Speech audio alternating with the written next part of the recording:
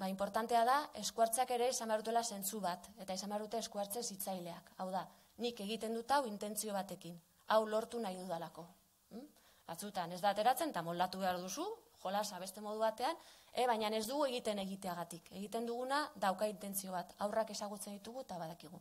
Eta ina handi batean egiten ditugu interbentzio horiek zenaz, ez, intuizioz, ere bai, zen intuizioa ez oso importantea dela, eta gurekin konektatzen dugun enean intuizioa gurekin, gure lagunda, ez, oso importantea da, informazio handia ematen digu.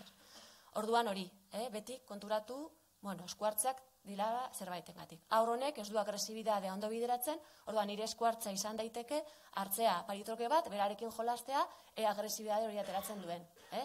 Badago aur bat, ez duela inoz eskatzen, ez dagoela, ez duela espazioan, ez dela espazioarik ateratzen, pos egin desaioke, etxetxo bat, sentitu datin seguro, eta segurtasunarekin sentitzen danean, bueno, pues igual utziko dugu beste batzuk sartzen edo ez sartzen. Eta berak aginduko du, ea noiz nahi duen sartzea edo noiz ez. Hm?